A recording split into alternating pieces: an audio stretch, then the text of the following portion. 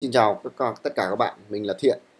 Mình sẽ hướng dẫn các bạn sử dụng cái hệ thống ờ, CMS của cao đẳng Poly để chúng ta có thể học được cái môn ờ, tin học. Thì trước hết thì để vào được cái hệ thống này thì mình sẽ tiến hành là vào cái trang web là cms.poly.edu.vn ở trên trình duyệt. Sau đó chúng ta chọn sign in. Sẽ có rất nhiều bạn là không biết vào đây bằng cái gì thì mình sẽ hướng dẫn đầu tiên thì nhà trường sẽ cấp cho chúng ta một cái tài khoản email, có đuôi là a.fpt.edu.vn thì chúng ta sẽ sử dụng cái tài khoản đó để vào đây.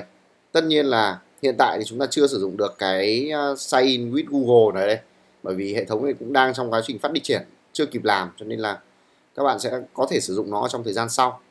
Thì để vào được cái hệ thống này trước hết thì chúng ta cũng phải phải phải sử dụng cái đăng nhập mặc định của nó. Thì để vào được thì mình sẽ chọn là forgot password ở đây sau đó các bạn chọn là gõ vào cái email của các bạn. Thiện th a fpt.edu.vn thì đây là cái mật khẩu à, cái cái cái email của mình. Còn của các bạn thì sẽ tên họ đệm và ph cộng với mã số sinh viên.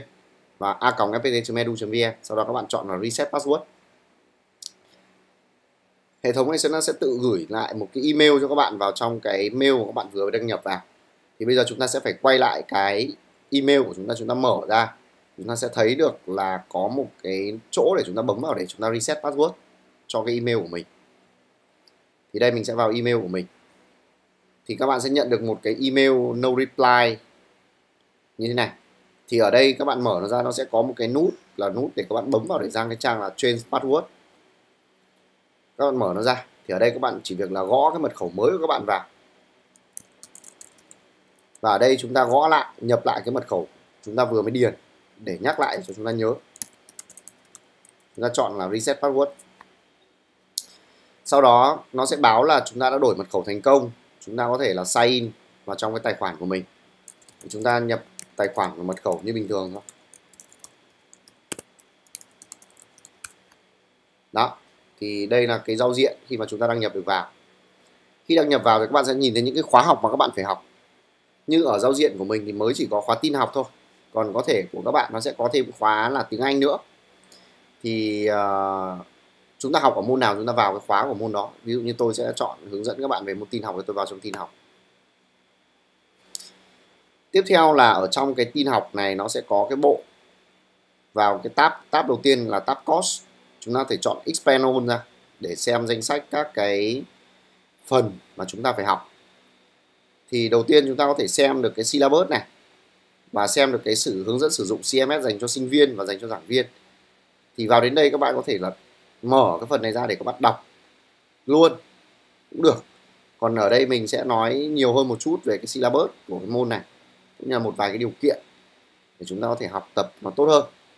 Thì cái syllabus này nó sẽ giới thiệu thông tin chi tiết và mô tả cụ thể của các bạn là trong cái môn này các bạn sẽ học những cái gì học xong cái môn này mà các bạn học đúng thì các bạn sẽ hiểu được những thứ gì.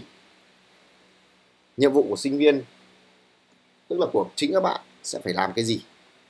Và các cái điều kiện để các bạn có thể qua được cái môn này. Thì mình cũng có khái quát một qua một chút ở đây. Thì trong cái khóa khóa học này các bạn sẽ phải học 8 bài học video. Tất nhiên là 8 bài học này là 8 bài lớn. Trong mỗi bài học này có thể là có mỗi, có khoảng 3 hoặc 4 hoặc 5 các cái video nó ngắn nó khoảng vài phút để giới thiệu lên giới thiệu cho các bạn một vài cái kiến thức. Một vài phần kiến thức sau mỗi video. Sau mỗi một cái bài học lớn đấy chúng ta có một cái bài quiz. Thì chút nữa mình sẽ hướng dẫn các bạn làm bài quiz. Mỗi bài quiz các bạn được phép làm tối đa là 5 lần.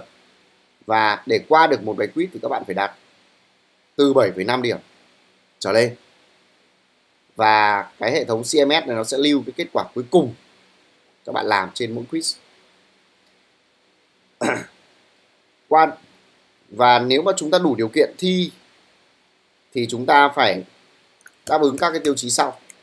Một là chúng ta phải học tất cả các bài online. Hai là qua được, qua hết tất cả các bài quiz. Thì chúng ta sẽ đủ điều kiện đi thi. Và tiếp theo, đến phần thi thì chúng ta sẽ thế nào? À quên, tôi nhầm. Còn chúng ta còn một phần phần bài tập lớn là assignment nữa. Thì ở trên hệ thống LMS nó đã có một cái bài assignment rồi. Chúng ta có thể mở nó ra để chúng ta xem đề là cái gì.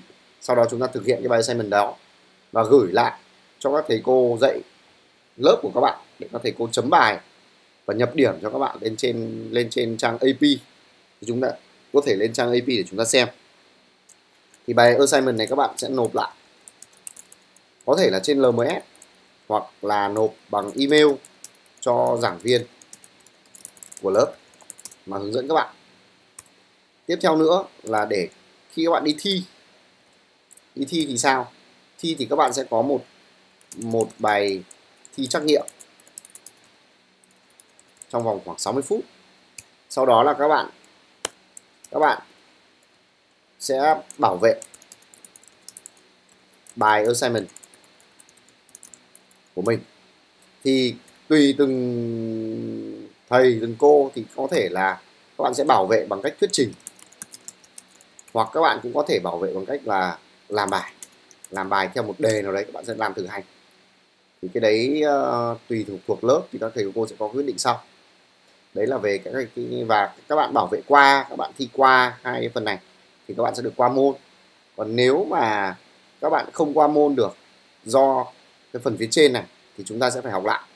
Còn phía dưới này thì các bạn cũng sẽ phải học lại, nhưng mà tùy thuộc vào cái quy quy định của đào tạo, các bạn sẽ phải đóng chi phí bao nhiêu tiền thì mình cũng không rõ, các bạn có thể hỏi thêm về với phòng đào tạo. Phần tiếp theo thì mình sẽ hướng dẫn thêm cho chúng ta về cái tab là appendix 1 là cái lộ trình. Chúng ta sẽ học qua từng bài từng bài một sẽ là thời thời lượng là bao nhiêu, học những kiến thức gì ở trong này. Appendix 2 nó sẽ là cái thông số về điểm của chúng ta. Tiếp theo là quay lại cái course. Thì mình sẽ học thử cho chúng ta về cái bài 1 thì bài 1 thì nó gồm 1 2 3 4 5 phần.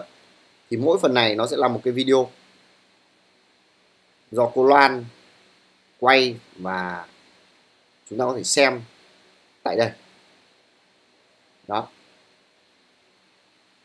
Là bài giảng online của môn tin học văn phòng. Trong bài giảng online của môn với cái video này thì chúng ta hoàn toàn có thể chỉnh được speed, tức là cái tốc độ của video. Mở rộng ra được, chúng ta có thể tiện theo dõi hơn. Và học xong thì chúng ta sẽ có thể next sang cái bài tiếp theo. Cũng lại là một cái video nữa. Nhưng mà cái này nó sẽ nói về các thành phần cơ bản của máy tính. Và tất cả những kiến thức này nó đều có trong thành phần thi cả. Sau khi các bạn học xong thì các bạn đến với cái bài quiz. Đây quiz 1 thì mỗi bài quiz này các bạn sẽ được làm 5 lần tối đa. Và hệ thống sẽ ghi nhận lại cái kết quả cuối cùng của các bạn làm. Ví dụ như mình tiến và và mỗi một cái câu này các bạn đều phải làm tất cả các câu, không được bỏ câu nào hết. Nếu không, nếu mà các bạn thiếu một câu hoặc hai câu gì đấy thì nó sẽ không cho bạn nộp bài. Ví dụ như mình sẽ tiến hành làm. Như lần trước mình làm nó đang được hai điểm rưỡi.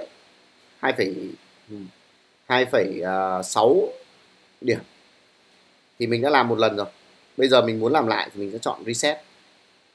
Sau đó chúng ta sẽ lại làm lại bình như bình thường. Ví dụ mình chọn, mình sẽ tiến hành chọn bừa để tránh bị lộ kết quả.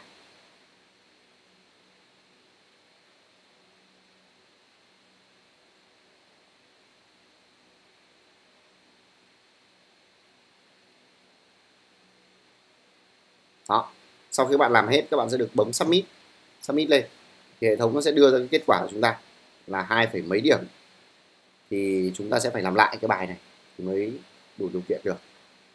Đấy là về cái hướng dẫn sơ qua về cái việc sử dụng cái hệ thống CMS này từ đăng nhập cho đến uh, syllabus cho đến việc các bạn sẽ làm bài quiz thế nào. Sau đó các bạn cứ next thôi next là nó sẽ tự động nếu mà các bạn đủ điều kiện nó sẽ tự động sang bài 2 còn uh, các bạn uh, sẽ nhận được một cái email của các thầy cô tùy từng lớp sẽ gửi email cho các bạn và cái lời mời các bạn vào trong cái nhóm trên Facebook để giúp chúng ta có thể là trao đổi tương tác, hỏi han các thầy cô hay là nhờ các thầy cô giải quyết các cái vấn đề về lỗi. Thì chúng ta hãy trao đổi trực tiếp ở trên các cái nhóm của các thầy các cô, các thầy cô sẽ hỗ trợ các bạn. Chúc các bạn học tốt.